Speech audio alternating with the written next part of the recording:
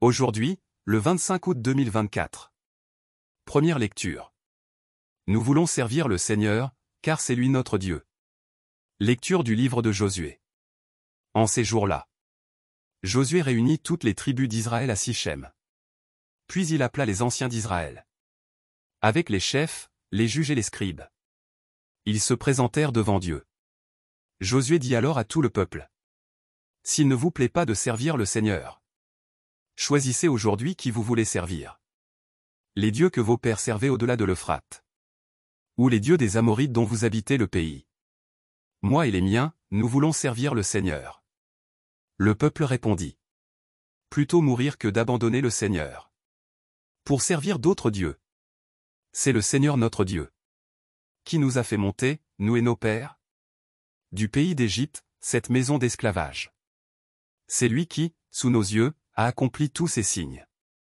Et nous a protégés tout le long du chemin que nous avons parcouru. Chez tous les peuples au milieu desquels nous sommes passés. Nous aussi, nous voulons servir le Seigneur. Car c'est lui notre Dieu. Parole du Seigneur. Nous rendons grâce à Dieu. Psaume.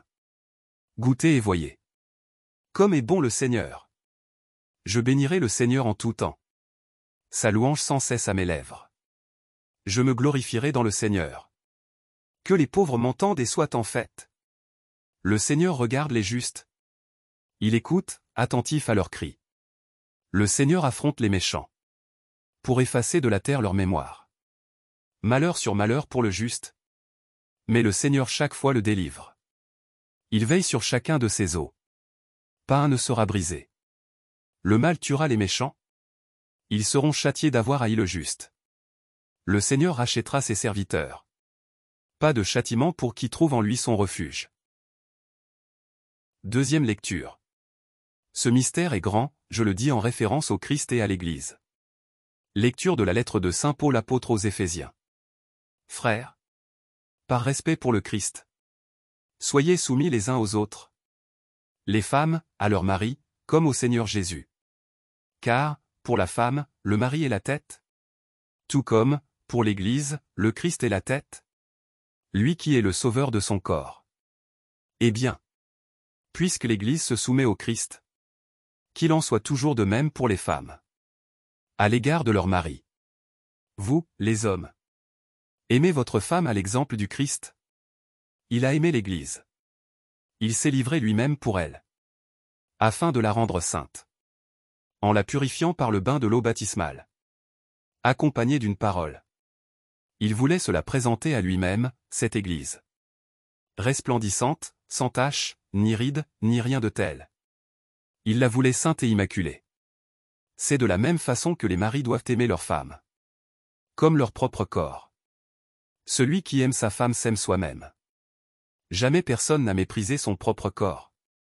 Au contraire, on le nourrit, on en prend soin. C'est ce que fait le Christ pour l'Église. Parce que nous sommes les membres de son corps. Comme dit l'Écriture. À cause de cela. L'homme quittera son père et sa mère. Il s'attachera à sa femme. Et tous deux ne feront plus qu'un. Ce mystère est grand. Je le dis en référence au Christ et à l'Église. Parole du Seigneur. Nous rendons grâce à Dieu. Évangile. Seigneur, à qui irions-nous? Tu as les paroles de la vie éternelle. Alléluia. Alléluia. Tes paroles, Seigneur, sont esprit et elles sont vie. Tu as les paroles de la vie éternelle. Alléluia. Évangile de Jésus-Christ selon Saint Jean. En ce temps-là, Jésus avait donné un enseignement. Dans la synagogue de Capharnaüm. Beaucoup de ses disciples, qui avaient entendu, déclarèrent. Cette parole est rude. Qui peut l'entendre? Jésus savait en lui-même que ses disciples récriminaient à son sujet. Il leur dit Cela vous scandalise Et quand vous verrez le Fils de l'homme Montez là où il était auparavant. C'est l'esprit qui fait vivre. La chair n'est capable de rien. Les paroles que je vous ai dites sont esprit.